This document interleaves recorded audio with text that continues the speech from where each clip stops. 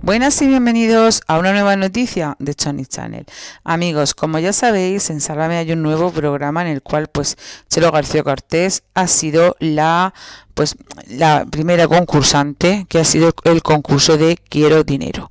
Chelo ha pasado prácticamente pues una semana haciendo pruebas para ganar dinero, entre las cuales la hemos visto como presentadora de Socialité, metiéndose en una urna con cucarachas, metiéndose en una bañera llena de vísceras para poder encontrar un diamante, muchísimas cosas que poco a poco le han hecho ganar dinero. Pero no solamente eso, sino también la hemos visto como, por ejemplo, hablaba de la vida privada de algunos de sus compañeros, o incluso hasta se atrevía a quemar un cuadro de Isabel Pantoja para ganar 100 euros.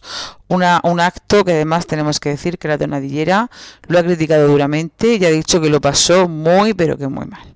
Pero no solamente queda ahí la cosa, y es que hoy a Chelo García Cortés le han puesto el listón un poquito más alto. Si ayer para ganar dinero tenía que hacerse un piercing, hoy para ganar dinero la han obligado a enseñar sus cuentas bancarias, a saber cuál era el saldo que tenía en ellas.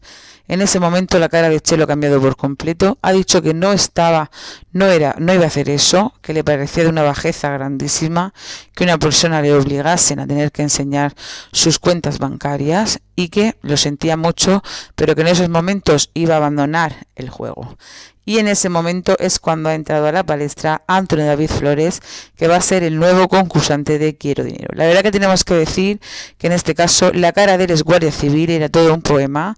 No sabemos si verdaderamente va a, coger, va a aceptar el reto o no, ya que es voluntario.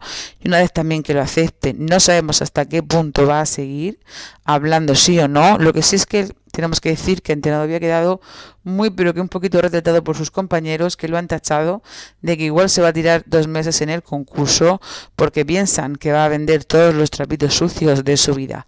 Unas declaraciones que imaginamos que Antonio David no le han tenido que sentar nada pero que nada bien. Que tus propios compañeros digan que vas a estar por dinero muchísimo tiempo y que vas a ser, capaz de vender todo, pues la verdad es que Antonio David no le ha sentado nada bien ni a cualquier persona que tuviese dos dedos de frente pensamos que tampoco. Pero bueno, como ya sabéis, vamos a ver verdaderamente hasta dónde llega y vamos a ver si verdaderamente se atreve a hablar o no, pues del tema estrella que le van a preguntar que no es otro sino que Rocío Carrasco. Y nosotros, como no, como siempre aquí en Tony Channel, agradecemos vuestros comentarios y nos encantaría saber qué es lo que piensas.